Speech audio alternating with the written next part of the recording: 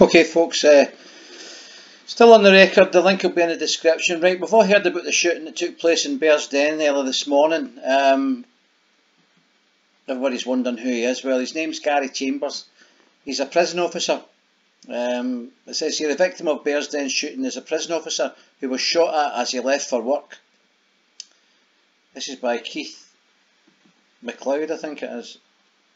Yeah, Keith McLeod. And there he's there. So I wonder what he's done to warrant somebody trying to pop him at his door. Somebody no very good, obviously, because they ran away. A prison officer was shot at in a murder bid as he left his home to go to work early in the morning. Gary Chambers, 38, was targeted by a hitman, oh, really a hitman, on the driveway of his home in an upmarket Glasgow suburb, Bearsden, Rannoch Drive in Bearsden. The shot narrowly missed the stepdad of three but left a smashed window next to the door of his semi-detached home. Maybe the guy didn't want to shoot him. It stopped the three teenagers and Mr Chambers' wife and Debbie, Debbie, also 38, were in the house at the time. There he's there. What have you been up to?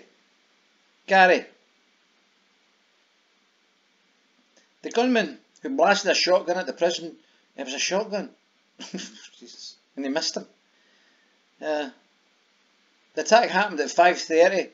He must have meant to miss him then. Police cordoned off much of the north part of the street in the affluent neighbourhood whilst forensic teams wearing white overalls, I know what they were. One resident said, Welcome to Leafy Bearsden. He'll not be popular with his neighbours. They want rid of him. They don't go for that kind of shit in Bearsden. This is horrendous. Uh, they want rid of you now, Gary. You'll need to move. The shame the shame.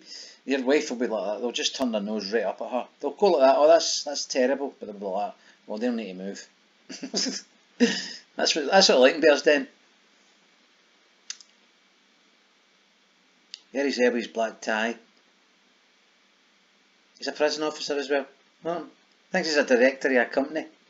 You're a screwmate in Berlin.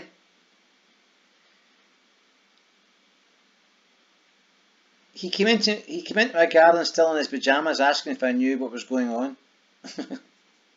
I had to tell him I hadn't even heard the shot. Another neighbour told me he had heard the shot, and it was unmistakably a shotgun blast. Mm, there's somebody with maybe a an FAC. It's not the kind of thing you want to hear in a street like this, where there are a lot of children. There they are. There's the boys in blue. You want them at your door. No, I like that plant there. I like that plant, but uh, uh, I like the plant and I like the the what you call it pot it's in. I think I might get one of them from my front door. They say the car involved may have been a silver or grey Skoda. maybe, he's not paid his taxi fare. Dirty screw. Yeah, there.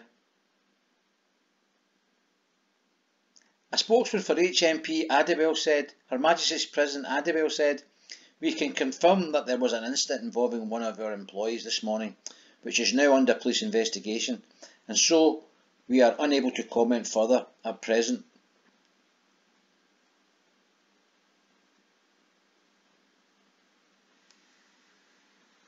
What's going on here? It is thought Debbie's children from a previous marriage, blah blah blah. The scene of the attempted hit is not far from Killermont Primary School and Nursery, right? Mr Chambers works at Addiewell Jail near Livingston, run by the private firm Sodexo Justice Services. That'll be American. The high security facility is said to be the scene of a power struggle involving the notorious Robert Birdman O'Hara. Oh dear. It is reported he has been in segregation over claims he threatened another inmate. He was jailed in 2005 over the murder of rival Paul McDowell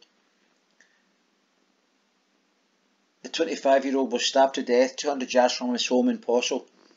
Um, McDowell was attacked by two men, and one of the killers was in phone contact with O'Hara while carrying out the fatal street assault. The gangster was also found guilty of firearms offences and trafficking heroin. Police recovered a Mac M11, holy Toledo, and a sawn-off shotgun. A spokesman for HMP Addiewell said, we, are, we can confirm, I read that, we, can, we will support our employee and his family in any way we can. So, that's a strange one, isn't it? What's he been up to? He been a bad boy? Has he been throwing his weight about? Has he been putting somebody's arm up their back? You know how they're all trained to do that? Just flip your wrist, just like the mob. Ah, who knows? It's a mystery. It'll come out though. But the spotlight's on you now, Gary. The mob will be looking at you, trying to figure out what's happening. They'll not believe you. See, when you tell them you don't, I don't know why, they'll not believe that. So you're now getting watched. so's your wife. And your reins will be getting followed by the police. Holy Toledo. Oh well. You deserve it, Gary. I don't I don't care because you work in the jail, you deserve it. Right, okay. If you like the content, hit the like button. Peace out.